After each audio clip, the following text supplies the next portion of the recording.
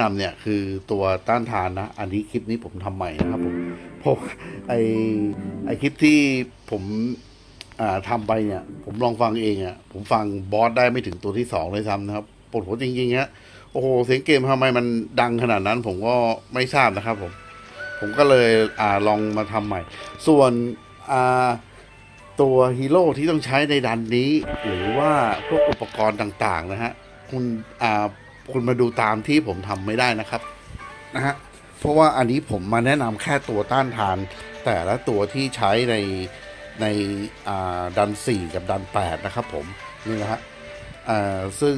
อ่าอุปกรณ์ที่ใส่หรือว่าฮีโร่ที่ใช้เนี่ย ผมบอกเลยว่าอ่าผมไม่ไม่ไม่ไม่ได้ไม่ได้ฟิกไม่ได้ทำอะไรเลยนะครับผม คุณต้องอลองศึกษาเพิ่มเติมนะฮะคุณจะมาใส่อุปกรณ์แบบผมอะไรมันไม่ได้ เพราะว่าไอ้นี่คือผมใส่เข้าไปเพื่อให้ดูแค่ตัวต้านทานเท่านั้นเองซึ่งคลิปอะที่ผมดูนะ ผมบอกเลยว่าปวดหัวมากครับผมดูแค่มอสสองตัวผมยังเลยทำคลิปนี้ใหม่นะซึ่งจะอ่าอาจจะไม่ได้เหมือนเดิมหรือว่าอะไรก็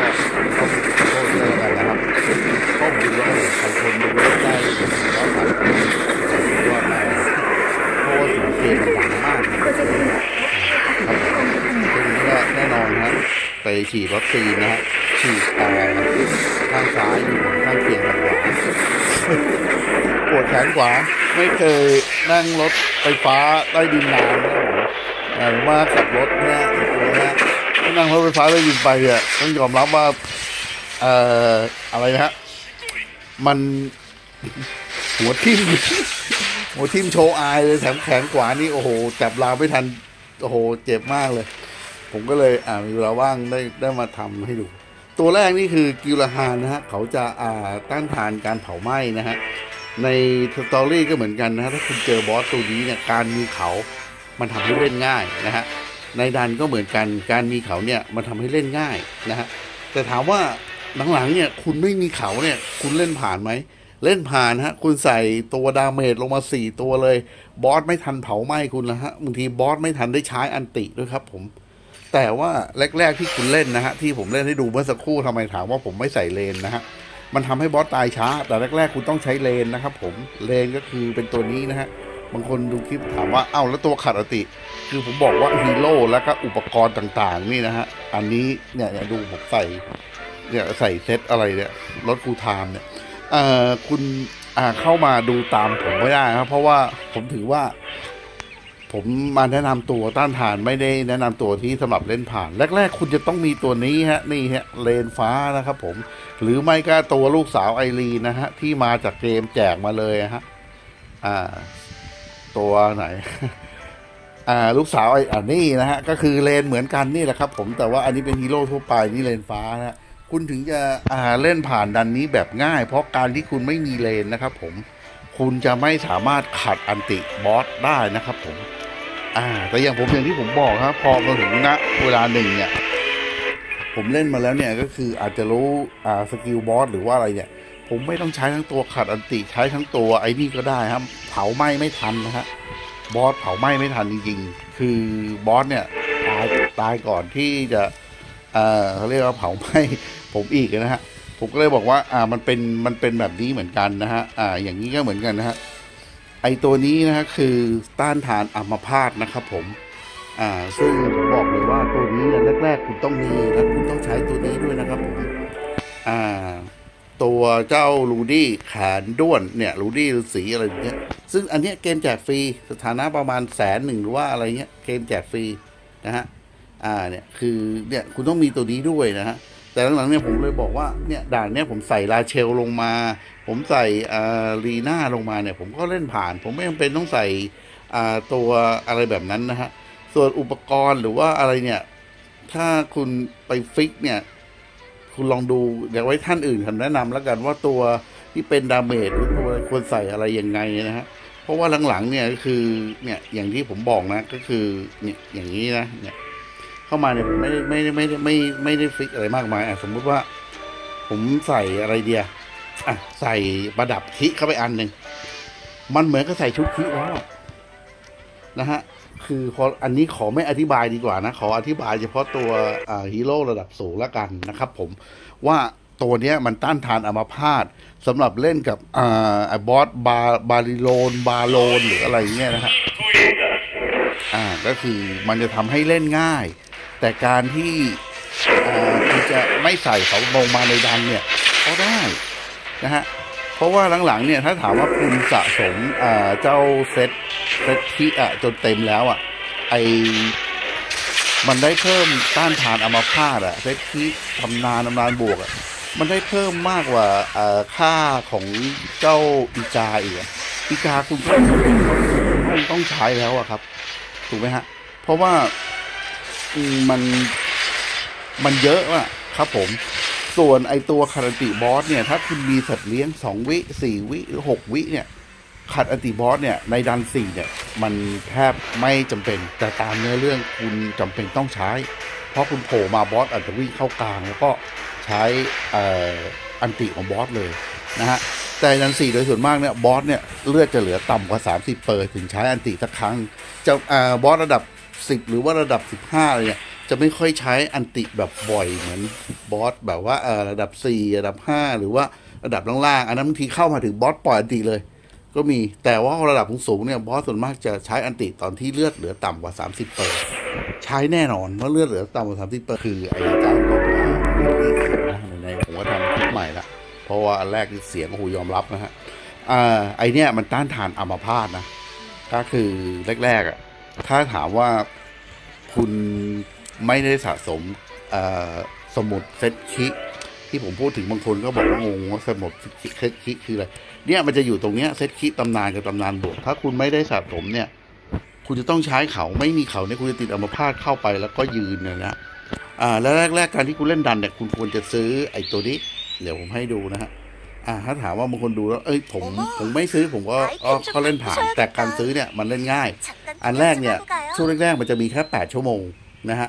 อันแรกเนี่ยคือเพิ่มโจมตีนะฮะอันที่สองนี่ก็คืออ่าเขาเรียกว่าป้องกัน อันที่สามเนี่ยพลังชีวิตนะฮะคือถามว่าต้องซื้ออะไรนะเพราะว่าตอนแรกๆเนี่ยคุณไม่ได้เล่นถึงระดับสิบคุณไม่ได้เล่นถึงระดับสิบห้าการที่คุณไม่ได้เล่นถึงระดับสิบ ไม่ผ่านระดับสิบการที่คุณไม่ผ่านระดับสิบห้านะ คุณจะไม่มีบัฟใสbuff ใสคือสีเขียวที่อ่ามันอยู่ในหน้าต่าง status นะอะโอเคฮะเดี๋ยวยังไงก็คือเรื่อง buff เรื่องอะไรไว้รอผู้เชี่ยวชาญคนอื่นก็แล้วกัน อันนี้ผมแค่บอกว่าแรก ๆ คุณจะต้องใช้พวก buff clan นะฮะ ซึ่งมันอาจจะซื้อได้แค่ 8 ชั่วโมง ไม่ใช่24 แล้วอะไรแบบนี้นะคือมันจะทำให้คุณเล่นดันพวกนี้ผ่านง่ายขึ้นด้วยนะฮะ และก็ตัวที่ผมมาแนะนำเนี่ย มันคือฮีโร่ระดับสูงที่ในดันเนี่ยควรมี ส่วนฮีโร่ที่ใช้พวกตัว damage พวกออุปกรณ์ที่ใส่อันนี้คุณมาดูตามที่ผมไอ้นี่อะมันก็ไม่ไม่ไม่ได้นะ เพราะว่าผมไม่ได้ไม่ได้ fix อะไรเลย ผมถือว่ายังไงมันมันมันง่ายเกินไปแล้วไงถูกไหมฮะอ่าแต่ถ้าถามว่าคุณเล่นช่วงแรกๆเนี่ย อุปกรณ์ที่ใส่เนี่ยไอตัวต้านทานที่ผมแนะนำเนี่ย คุณควรจะใส่เซตเพิ่มเลเวลสกิลนะฮะ ตัว damage คุณควรจะใส่คีใส่โจมตี อันเนี้ยคุณลองไปศึกษาเอา ส่วนลาเชลเนี่ยคุณจะใส่ลด cool time หรืออะไรเนี่ยลองไปศึกษาดูซึ่งผมดูแล้วในกลุ่มหรือว่าในปักหมุดเลยเขาแจ้งไว้ครบหมดนะฮะบางทีบางคนมาถามก็คือ ถ้าคุณลองกดเข้าไปดูเนี่ยคุณจะทราบเลยว่าโอ้โหแอดเขาทำไว้โอเคเลยนะฮะคือผมก็ได้แจ้งไว้หมดว่าตัวพวกนี้ตัวฮิวควรใส่เอ่อเซตเลือดเซตอะไร มีมีแจ้งมันจะมีแบบว่าเป็นเหมือนเป็นเอ่อไอ้ตรงนั้นมันเป็นประโยชน์มากนะครับผมมันมันช่วยได้เยอะนะฮะเพราะว่ามันอยู่ในไดหรืออะไรนะก็คือมันจะบอกเลยว่าฮีโร่ตัวนี้มีสกิลตัวนี้ตัวนี้อะไรยังไง ซึ่งผมว่าไอ้ของกลุ่มเขาทำไว้โอเคเลยนะอ่าแต่ว่าตอนหลังเนี่ยมันไม่จำเป็นต้อง fix ขนาดนั้นนะครับผม อ่าลืมพูดเลย เจ้าตัวนี้นะ ในดันนี้นะ มันทำให้ ฮีโร่ทั้งทีมทั้งปาร์ตี้ไม่ติดพิษนะครับผม คือคือพอการไม่ติดพิษเนี่ย คุณก็เล่นง่ายขึ้นไงเพราะว่าการติดพิษ มันก็คือทำให้เลือดคุณลดลงไปเรื่อยๆนะฮะส่วนไอ้สีม่วงๆนั้นก็คือ มันเขาเรียกว่าอะไรนะสีสีม่วงๆก็คือ มันทำให้แบบว่าเอาเหมือนติดสถานะเลือดไหล แต่ความจริงตรงนั้นน่ะ มันเอาสกอตเข้ามาคู่เอาอะไรเนี่ย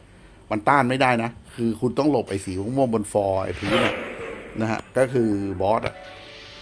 เป็นแบบนี้นะอ่า ก็คือเดี๋ยวผมย้ำอีกทีตัวนี้ก็คือต้านอัมพาตนะเดี๋ยวมาแนะนำโลกสูงแต่ว่าไม่ได้บอกเลยว่าต้านไอ้ตัวนี้ต้านทานอ่าทำให้ไม่ติดเล็บนะครับนะฮะส่วนที่เราที่ใช้อย่างที่ผมบอกไม่ได้ไม่ได้ fix นะครับผมอ่าเดี๋ยวอันนี้ก็คือต้านนะครับผม นะฮะฮีโร่ที่ใช้หรือว่าอะไรเนี่ย หรือว่าอุปกรณ์เนี่ย ผมไม่ได้ fix นะคุณมาจำตามนี้ไม่ได้ก็คือที่อย่างเงี้ยความจริงเนี่ยอ่าเนี่ยเห็นไหมฮะไอตัวอย่างสมมุตินะเนี่ยเจ้าตัวเนี่ยเนี่ยไอตัวเซอินตำนานบวกเนี่ยผมใส่เซตตีเร็วใส่เลยความจริงคุณต้องใส่เซตคิเซตอะไรนะฮะแต่ความจริงก็คือถ้าวันหลังๆเนี่ยมันมีอย่างที่ผมบอกเนี่ยมันมีไอแหวนคิมีอะไรพวกเนี้ยใส่มาอันหนึ่งเนี่ยมันเหมือนว่ามันใส่เซตไอ เซตคิแล้วไงผมก็เลยไม่ได้บอกว่าตรงนี้ผมไม่ได้ fix นะ เพราะว่าอรอคนอื่นหรือคุณลองไปศึกษาเพิ่มเติมดูนะ ว่าฮีโร่แต่ละตัวควรใส่เซตไหนควรฮีโร่แต่ละด่านควรใช้ อันนี้ผมมาแนะนำฮีโร่ระดับสูง ซึ่งคลิปนี้เนี่ยผมทำใหม่เพราะว่าดูแล้วผมทนดูไม่ได้อย่างบอสเนี่ยผมยังยังปวดหัวเลยนะครับผม อ่า ซึ่งการหลบสกิลบอสเนี่ย ผมคุณลองศึกษาดูนะเพราะว่าไอ้ที่ผมไม่หลบเนี่ยเนี่ยเพราะว่าผมมีตัวเนี่ยชุบชีวิตเห็นไหมตายโป้งมันก็ขึ้นมาถูกไหมแล้วฮีโร่ตัวนี้เนี่ยแรก ๆ เนี่ย เขาจะมีไอ้เขาเรียกเหมือนเป็นก้อนอะไรสี่ก้อนสี่มุมเลย ซึ่งคุณจะต้องไปวิ่งไล่ตีทีละตัวทีละตัว เพื่ออ่าไม่ให้บอสฮิวเลือดได้อะครับแต่อย่างผมเนี่ยคือบอสมันสร้างไม่ทันไงไอ ไอไอก้อนสี่ก้อนเนี่ยมันสร้างไม่ทัน เพราะว่าผมรีบตีเลยไงผมไม่เอาไอเจ้าตัวอาเดลเนี่ยมันต้านทานแช่แข็งผมไม่เอาเข้ามาก็ได้ ผมใส่อีวานบวกมาเนี่ยใส่ลาเชลมาผมก็ผ่าน เพราะว่าติดน้ำแข็งเนี่ย ไอตัวสมมติอีวานบวกติดน้ำแข็งไหมตัวอื่นมันก็ตี แต่ว่าการที่มีเขาเนี่ยมันเล่นง่ายผมแนะนำแรก ๆ คุณจะต้องมีตัวนี้ แล้วก็มีเซอินเซอินตัวนี้ไม่มีคุณใช้เซอินตัวแจกฮะ ตัวตัวฟ้าซึ่งจะมีแจกเหมือนตัวลูดี้นะฮะ ซึ่งตรงนั้นเข้ามาคุณจะต้องมี ถ้าถามว่าไม่มีเนี่ย มันขัด ulti บอสไม่ได้นะมันก็คือ ulti บอสรู้สึกว่าเป็นสกิลที่แรงโป้งก็คือตายเลยอย่างเงี้ยนะฮะบางคนบอกไม่เข้าใจว่าอื้อทำไมไม่แนะนำตัวขัด ulti ตัวขัด ulti ก็คือเนี่ยถ้าถามว่าคุณไม่มีเซอินในตำนานบวกนะ มันก็คือต้องใช้เซอินตัวนี้นะซึ่งมีแจกนะแต่หลังๆก็คือ การที่คุณไม่ใช้เนี่ยคือคุณอาจจะแบบว่า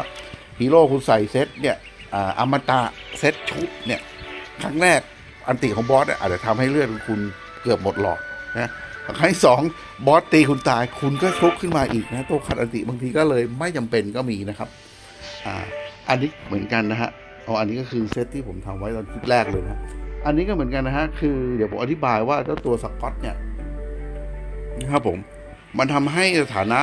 ไม่ไม่ไม่ติดเลือดไหลนะครับ ผมอันนี้คือใส่อุปกรณ์เฉพาะเขาก็ได้ฮะแต่หลังๆคุณไม่จำเป็นต้องใช้ส่วนตัวเวนิโก้นะที่แรกที่ผมแนะนำไว้ตัวนี้เป็นตัวขัด ulti บอสนะฮะควรใส่เซ็ตป้องกันเซ็ตบล็อกเซ็ตอะไรนะฮะตรงตรงจุดนั้นมากกว่านะฮะแต่อุปกรณ์และฮีโร่ที่ใช้ผมไม่ไม่ได้ fix นะผม fix ก็ว่าเอ่อถ้าคุณ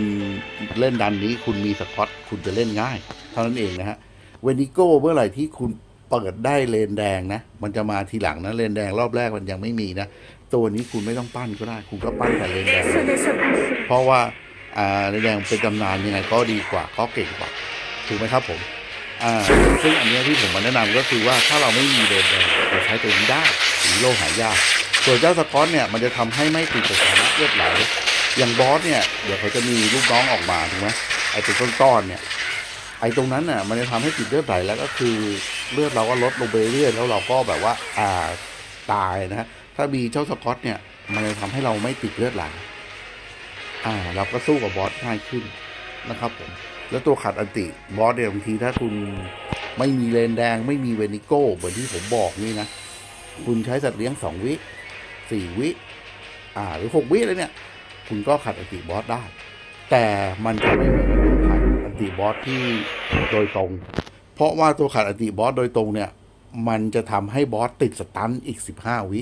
ไอช่วงสิบห้าวิเนี่ย คุณรุมซัล salvo เลยนะพอเข้าใจนะว่าตัวขัด ulti บอสกับตัวต้านทานเนี่ย ตัวต้านทานเนี่ยโดยส่วนมากต้องมี และบังคับต้องมีหลาย ๆ ด่านเลยเพราะว่ามันทำให้คุณไม่ติดสถานะ ส่วนตัวขัดอันติบอสเนี่ยถ้าถามว่าคุณมีสัตว์เลี้ยงสองวิหรือว่า สัตว์เลี้ยงสี่วิหกวิหรือสัตว์เลี้ยงชุบชีวิตเนี่ยคุณไม่จำเป็นต้องมีสองวิอะฮะตัวนี้ฮะเนี่ยคุณไม่จำเป็นต้องใช้ก็ได้ แต่แรกๆ ถ้าคุณไม่ใช้เลนไม่ไม่ไม่ไม่ใช้ตัวนี้นะไม่ใช้ตัวคาราติบอสคุณเล่นไม่ผ่านเหมือนที่ผมเล่นนะเพราะว่าอันติของบอสมันโป้งเดียวคุณตายเลยนะฮะนะฮะคลิปแรกอ่าเห็นเพื่อนฝูงถามว่าทำไมไม่ ไปตรงนั้น อย่างที่ผมบอกว่าฮีโร่ที่ใช้อุปกรณ์ที่ใช้และวิธีการเล่นให้ผ่านเนี่ยแนะนำศึกษาเพิ่มเติมจากอื่นแล้วกันเพราะว่าอย่างที่ผมบอกนะผมเล่นเนี่ยปกติเนี่ยผมซื้อไอ้บัฟแคนอ่าค่าโจมตีนี่ยเองแต่อันนี้ผมแนะนำก็คือที่เพื่อนผมบอกว่าเอ่อมันจะต้องใช้อ่าแน่นอนถ้ามันทำให้เล่นง่ายเลย การที่คุณหมอบัฟแคนมาสอนกัน มีขายตั้งแต่ต้นนะบัฟแคนก็คือเมื่อคุณเข้าแคนแล้วเนี่ยมีขายแต่ช่วงแรกๆเนี่ยมันอาจจะมีแค่8ชั่วโมงนะครับผมอ่ามันอาจจะไม่แบบว่าอ่า24ชั่วโมงตายไปแล้วนะครับไม่ฟื้นด้วยอ๋อเนี่ยตัวเนี้ยมันทำให้คุณไม่ไม่ติดสถานะเผาไหม้ส่วนไอตัวไข่ไอติวอสเนี่ยผมเอาตัวนี้ลงมาเนี่ยเห็นไหมฮะก็คือสัตว์เลี้ยงสองวิเนี่ยแบบหายากเนี่ยมันทำให้บอสเนี่ยทำอะไรเราไม่ได้ ถูกไหมฮะสองวิสี่วิหกวิอะได้หมดบอสทำอะไรเราไม่ได้ แต่มันสู้เลนจริง ๆ ไม่ได้ เพราะเลนมันจะทำให้บอสติด stun อ่า แล้วพอบอสติด stun ปั๊บเนี่ย มันก็เราซันโวแบบฟรีๆอะทุกตัวรุมรุมกันตีเลยนะฮะสิบห้าวิอะฮะบอสก็ไม่รอดนะฮะแต่ว่าในระดับที่เอาสัตว์เลี้ยงลงไปไม่ได้ใช้ตัวขัด ulti เพราะว่าผมลองดูละไอเอาตัว damage ลงไปอย่างเดียวเนี่ยไวกว่า อย่างด่านที่อย่างด่านนี้เนี่ยผมก็คือมันจะมีด่านตัวสลัดกับด่านไอ้ที่เป็นด่านฮิตนะนะแรกๆที่คุณต้องคุณเล่นนะกับด่านเนี้ยสองด่าน อันนี้ให้อาวุธโจมตีนะฮะอ่าซึ่งเขามีลูกของเขาอยู่แล้วลูกโชว์หรืออะไรก็ไม่รู้นะแล้วก็คือเนี่ยอันนี้คือให้คิดคิดเนี่ยคือผมแนะนำเลย คุณต้องพยายามเก็บเลยนะในช่วงแรกครับเพราะว่ามันได้ค่าต้านทานอัมาพาตด้วยนะครับผมอะ ในด่านนี้นะฮะที่ผมทำไว้เมื่อวานก็คือผมแนะนำเจ้าตัวนี้ไม่พูดเยอะนะฮะอันนี้เป็นเจ้าตัวหมีฟ้านี่นะมันทำให้เล่นง่ายอ่าโอเค แต่ว่าทั้งดันสี่และดันแปดถ้าคุณเล่นผ่านระดับสูงคือระดับสิบตอนที่มันเปิดมาใหม่ๆ เกมมันจะแถมไอ้นี่มาให้คุณทำให้คุณแทบไม่ต้องซื้อบัฟแคนเลยเนี่ย buff ใส buff ใสเห็นไหมฮะ buff ใสสีเขียวเนี่ย มันเพิ่ม เนี่ยอะไรอ่ายี่อ่ายี่ยางยี่เปอร์ยี่เปอร์ก็คือเพิ่มอ่าป้องกันโจมตีพลังชีวิตอะไรอย่างเงี้ยนะ มันจะเพิ่มให้คุณ มันจะทำให้คุณไม่จำเป็นต้องไปซื้อไอ้ buff แทนมาใช้ก็ได้ เนี่ย แต่ถ้าคุณซื้อมาด้วยก็โอเค มันก็ยังเพิ่มให้คุณอีกว่าโจมตีป้องกันพลังชีวิตแต่ถ้าคุณไม่ผ่านระดับสิบหรือระดับสิบห้าระดับสูงสุดเนี่ย แรกๆมันไม่มีบัฟตรงนี้มาช่วยนะ มันจะไม่ได้เล่นง่ายแบบนี้นะ ถึงมันเปิดมาแค่ระดับสิบนะฮะคุณไม่จำเป็นต้องใช้หมีต้องใช้เมาคีก็ได้เพราะอันติของบอสคุณสามารถ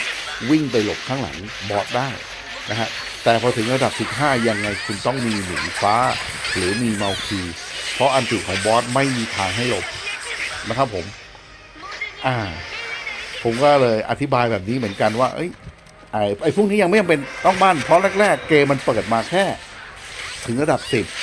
มันมีช่องให้คุณสามารถหลบอันติบอสอยู่ได้ด้านหลัง แต่ถ้าการมีเขาเนี่ยมันก็ทำให้เล่นง่ายแต่ไม่มีก็เล่นผ่าน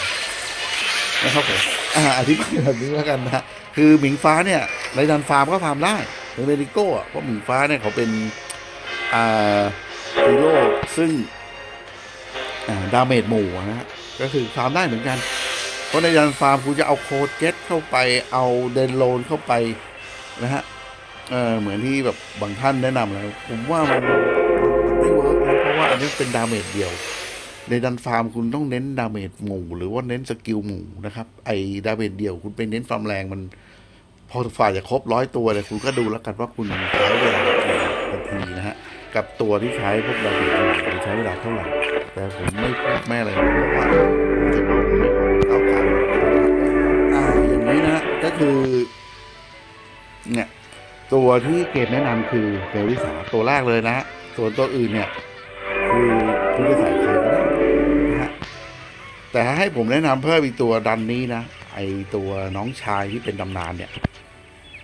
โอเคเลยไม่ใช่เพราะว่ามันมันต้านทานสถานะ หลายอย่างเลยนะฮะก็คือไล่ตัวหนึ่งซึ่งไม่ค่อยมีใครใช้ก็คือเจ้าตัวนี้อากิล่าทีนะแต่ก็คือฮีโร่เนี่ย ชอบใครชอบมันนะฮะผมใช้ตัวนี้ก็ได้นะฮะมันชอบใครชอบมัน แต่ตัวที่ควรมีตัวที่เกมบอกว่าคุณควรมีอะไรเนี่ยมันคือตัวเมริสาเนี่ยนะฮะอะโอเคฮะผมแนะนำระดับสูงอะไรจนครบหมดละ ตัวแรกกิลาฮานนะฮะผมจะอ่าทวนนะฮะต้านทานเผาไหม้ตัวที่สองนะฮะอ่าต้านทานอัมพาตนะครับผมตัวที่สามเอียนเนี่ยอ่าทำให้คุณไม่ติดพิษนะฮะต้านทานพิษอันนี้อเดลต้านทานน้ำแข็งนะฮะอ่าอันนี้ก็คือต้านทานเลือดออกนะฮะส่วนตัวสุดท้ายเนี่ยก็คือเบลวิสาในดันแปดส่วนอันนี้มันอยู่ในอ่าดันมังกรแรกๆยังไม่มีนะฮะเออเนี่ยอย่างเจ้าอ่าเฮนรี่ต้านทานไฟฟ้าช็อตนะฮะ อ่าอันนี้ก็คือมังกรจะมี 3 ตัวอันนี้สู่ความเงียบโกลาหลนะฮะอันนี้อันนี้อันนี้สายฟ้า ซึ่งเขาจะบอกเลยแต่ตัวพวกนี้มันเหมือนอย่างโนโฮอย่างชีตเนี่ยมันเหมือนไม่มันเขาเหมือนเป็นแบบทั้งตัวต้านทานด้วย เป็นทั้งตัวขัดอันติบอสด้วยนะฮะถ้าใครเล่นมาก็จะทราบเลยว่าของเขาได้เข้าไปต้านทานสายฟ้าด้วยนะฮะแล้วก็เข้าไปเนี่ยก็คือเข้าไปแบบว่าอืมเหมือนเป็นตัวอ่าขัดอันติบอสไปในตัว นะฮะก็คือพอมีอเสียงม่วงคือเขาก็สามารถขันติได้ด้วย เราจะเรียกว่าเป็นตัวอะไรก็ตัวปรับปรามอันนั้นก็แล้วแต่ ส่วนอันเนี้ยดันสุดท้ายเนี่ยดันแปดอันเนี้ย เกมบังคับว่า คุณควรมีเมลลิสาแต่คุณจะมีไม่มีเนี่ย เรื่องจริงเนี่ย มันไม่ได้สำคัญเลยนะฮะเมลลิสาเพราะว่าไม่มีงานผมเล่นผ่านนะฮะแต่การมีเมลลิสาเนี่ย มันทำให้เล่นง่าย เพราะคุณสังเกตนะฮะบอสนะฮะ skill ของบอสเนี่ยมันจะเป็นอ่าเดี๋ยวคุณตัวหนังสือเนี่ยมันจะเป็นสีแดงนะมันจะชี้ลงชี้ลงชี้ลงอย่างเดียวเลยนะฮะเนี่ยชี้ลงชี้ลงอย่างเดียวเลยเห็นไหมฮะมันลดค่าอะไรเราก็ไม่รู้ละอ่าผมไม่รู้ไอ้เจ้าเมลิสานี่นะคุณสังเกตนะ skill ของนางเนี่ยจะอ่าขึ้นอย่างเดียวเลยขึ้นขึ้นขึ้นขึ้นซึ่งอันนี้คุณไปลองศึกษาดูว่า skill ของนางและ passive ของนางเนี่ยคืออะไรนะฮะไอ้สีฟ้าส่วนไอ้ตัวสีเขียวเนี่ยมันเป็นของลีน่า เพิ่มอ่าไอนนี้ก็ไม่รู้นะเนี่ยสกิลของนางเนี่ยคือมันจะทำให้ตีบอสดันเนี้ยง่ายขึ้นอย่างนี้ยขึ้นขึ้นขึ้นขึ้นขึ้นอย่างเดียวเลย ลูกศรชี้อย่างเดียวเลย แต่บอสเนี่ยก็คือเป็นสีแดงลดลงลงลดลงลดลดลงอย่างเดียวเลยนะครับ ผมพอเป็นภาษาไทยแล้วน่าจะเข้าใจง่าย ซึ่งการที่มีนางในดันนี้มันทำให้เล่นง่ายนะฮะมันทำให้ผ่านง่ายอันนี้คือตัวที่ควรมีนะฮะผม พูดผิดในคลิปที่ผ่านมาด้วยนะฮะแล้วผมมาทำใหม่ก็เพราะว่าเอ่อผมลองฟังเองแล้วบอสแค่สองตัวผมยังทนไม่ไหวเลยเพราะเสียงในเกมมันดังมากนะฮะผมเลยทำใหม่แล้วกันนะครับผมก็คือเนี่ยฮะที่ผมแนะนำในดันสี่ทั้งหมดคือฮีโร่ระดับสูงสีเขียว ที่คุณต้องปั้น คุณต้องมีเกมบังคับว่าคุณต้องมียังไงคุณต้องมีตัวพวกนี้นะฮะพอคุณไปถึงแมงป่องเนี่ยด่านหลังๆเนี่ย คุณต้องมีเอียน หรือคุณเล่นหอคอยเนี่ยถึงด่านที่ 61 ถึง 65 คุณก็ต้องมีเอียนอะไรเงี้ยเกมจะบอกจะบังคับไปเลยนะฮะแรกๆบอสตัวไหนใช้ตัวไหนเนี่ยสังเกตตามเนื้อเรื่องจะบอกเลยพอคิวลาฮานบานเนี่ยช่วงแรกๆเนี่ยบอสตัวพวกนี้ก็จะแพ้ทางหรือว่าต้องใช้ตัวกิลาฮานเนี่ยต้านเผาไหม้หรืออะไร พอคุณไปเจอเจ้าเอ่อบอสอ่าเดโลนะฮะมันก็จะมีอีกาเขียวดีอะไรเข้ามาในเนื้อเรื่องให้คุณรู้เลยว่าอ่าคุณจะต้องใช้ตัวนี้ต้องอะไรอย่างนี้นะฮะพอไปถึงโจรสลัดมันก็จะมีอ่ากีฬาฮานเข้ามาในเนื้อเรื่อง ซึ่งอันนี้เนี่ยคุณสามารถดูได้อะไรได้นะฮะส่วนฮีโร่ที่ใช้หรือว่าแผนการเล่นอุปกรณ์ที่ใส่ในนี้นะฮะคุณจะมาจำอะไรนี้ผมไม่ได้ผมไม่ได้ฟิกไม่ได้เลยนะฮะผมถือว่าชอบใครชอบมันนะฮะเพราะว่าฮีโร่แต่ละตัวเนี่ย การบังคับหรือว่าคนชอบเนี่ยมันต่างกันอย่างผมเล่นดัน EXP เนี่ยผมเอาเซอินตำนานบวกเข้าไปเลเวลก็สูงกว่าอุปกรณ์แล้วก็มีเข้าไปเล่นเนี่ยดันนกสู้ไอไอตัวอีวานบวกไม่ได้เพราะนั้นมันจะ teleport เข้าไปในไอ้แท่ง skill ฝันจะออกมาเลือดหมดตาย ผมใช้อีวานบวกสบายสบายเลยเวลสี่สิบกว่า ลองดูคลิปที่ผมให้ดูนะฮะคือการถนัดมันก็ ต่างกันแล้วมันก็แยกต่างกันนะฮะโอเคฮะเดี๋ยวผมขออนุญาตจบคลิปที่ผมทำใหม่รอบสองแล้วกันนะฮะนี่นะฮะการเล่นผ่านดันสี่ก็คือคุณต้องมีฮีโร่พวกนั้นพวกตัวต้านทานพวกอะไรต่างๆแล้วก็คุณควรจะซื้อเข้ามาซื้อ buff แคนตรงนี้แรกๆมันอาจจะมี 8 ชั่วโมง มันอาจจะไม่เท่าไหร่นะฮะ แต่หลังๆเนี่ยช่อง buff แคนตรงนี้มันก็ไม่มีความจำเป็นนะฮะ เพราะว่าคุณได้ไปซื้อไอตัว partซีดของคุณแล้วนะฮะ ไอ้นี่ไม่ใช่ไอ้นี่แผนนะฮะ อ่าเนี่ยคุณซื้อพวกเนี้ย ถ้าคุณซื้อไปถึงอันสุดท้ายเนี่ยโอ้โหอันนี้เพิ่มมาเลยฮะโจมตีอันที่สองนี่เพิ่มพลังชีวิต อันที่สามนี่ป้องกันอะไรเงี้ยมันก็เหมือนกับที่คุณซื้อบัฟแขนส่วนมากผมเล่นเนี่ย ผมซื้อบัฟโจมตีมาอย่างเดียวนะฮะส่วนอ่าฮีโร่ที่จะต้องใส่เซตอะไรเงี้ยคุณลองศึกษาดูแล้วกันอ่าแล้วก็ เนี่ยนี่อย่างผมนี่ไม่มีไอ้นี่ด้วยที่ผมเล่นเมื่อสักครู่ไม่มีไอ้ตัวอะไรนะระดับ arena อะเดี๋ยวผมแจ้งเลย ระดับ arena เนี่ยผมส่วนมากผมเล่นแค่สิบเกม ระดับ arena เนี่ยมันสำคัญนะฮะถ้าถามว่าคุณจะเล่นเนี่ย คุณควรถึงห้าคุณอันนี้ผมสี่พันห้าอย่างเงี้ยถ้าคุณเล่นถึงห้าพันเนี่ย ทุกทักษะทุก skill ของบอสไอ้ทุกทักษะทุก skill ของฮีโร่ที่คุณจะเข้าไปตีดันสี่ดันแปดหรือตามเนื้อเรื่องเนี่ย มันได้เพิ่มนะ ผมรู้ว่าระดับแรกๆเนี่ยได้เพิ่มถึงสี่เลยนะสี่ระดับเลย แต่อย่างนี้คือผมไม่ได้ใช้ด้วยเมื่อสักครู่ผมก็ไม่ได้ใช้อไอ้นี่ไงเนี่ยมันจะเป็นเนี่ยเข็มขัดผมก็ไม่ได้ใช้ไม่ได้เพิ่มอะไรขึ้นมา เพราะอย่างที่ผมบอกว่าคือณเวลานี้เนี่ยอยังไงมันก็คือผมผ่านแล้วไงผมก็เลยจะจะเป็นระดับ arena หรือว่าจะเป็น skillอะไรตรงบอสต่าง ๆ เนี่ย มันไอ้นี่ก็คือแรกๆถ้ามันยังไม่มีขายแต่มีขายแล้วผมแนะนำว่าควรเก็บตังค์นะ วันละสองล้านเพื่อให้คุณมันได้รับไอ้ตัวนี้นะไอ้หิน up ฮีโร่นะ มันจะได้สิบอันแต่คุณได้หกสิบนะฮะ ก็คือระดับ arena เนี่ย มันมีความสำคัญในการผ่านบอสด้วย อันนี้ผมพูดนิดนึงนะฮะ แต่ว่าฮีโร่ที่ใช้เนี่ย มันแล้วแต่ว่าคุณจะใช้อะไรยังไง อย่างผมเนี่ยบางทีคือผมเล่นแค่สิบเกมเนี่ยผมเอาตัวฮิวใส่เข้าไปเก็บค่าสดิตเลย เอาไอตัวอากิล่าซึ่งยังไม่เต็มเอาอะไรเข้าไปเลย เพราะว่าถ้ามันไม่ตกสิบเกมอะผมก็อ่าเมื่อสักครู่เนี่ยผมก็ได้แค่นั้นอะ นะฮะแต่แล้วจริงๆ ผมไปถึงห้าพันฮะแต่ว่าไอ้ห้าพันห้าเนี่ยยอมรับว่าไม่ถึงฮะเพราะว่าบางทีก็ไอ้ตอนที่ถึงเนี่ยมันก็ไม่ติดหมื่นนะฮะมันไม่ได้รูบี้ไม่ได้อะไรผมก็เลยไม่ไม่ไม่ไม่ค่อยอยากเล่นแล้ว เล่นไปเต็มที่ก็แค่ห้าพันมันมีผลก็คือว่ามันทำให้ทักษะของคุณนะฮะในค่า status ไม่ขอแนะนำเพิ่มขึ้นทุก skill ทุกทักษะสำหรับระดับ arena นะฮะถ้าเป็นระดับบัญชีนะฮะมันจะทำให้คุณเนี่ย เพิ่มบางอย่างเพิ่มถึงสิบเปอร์เซ็นเลยระดับบัญชีระดับต้นๆ แต่การที่คุณเล่นดันพวกอ่าเรียกอะไรนะดันสี่ดันแปดเนี่ยคุณถ้าคุณผ่านระดับสิบหรือระดับสูงสุดแล้ว คุณจะได้บัฟใสมานะฮะและคุณก็มีไอตัวเข็มขัดอารีนาช่วย แล้วคุณก็มีบัฟแคนช่วย แล้วคุณก็ใช้ฮีโร่ตัวต้านทานพวกเนี้ยมันจะผ่านง่ายนะครับผมแต่แรก ๆ เนี่ย มันต้องใช้ทั้งตัวขัดอันติใช้อะไรเลย นะฮะมันการที่ผ่านง่ายเนี่ยมันมีหลายอย่างหลายส่วนประกอบมีทั้งรูนมีทั้งอะไรเข้ามาช่วยแต่ว่าที่ผมมาแนะนำผมแนะนำเฉพาะฮีโร่ระดับสูงที่ต้องใช้เท่านั้น โอเคนะผมขออนุญาตจบคลิปเท่านี้แล้วกันอันนี้ผมทำใหม่นะครับผม โอเคครับผม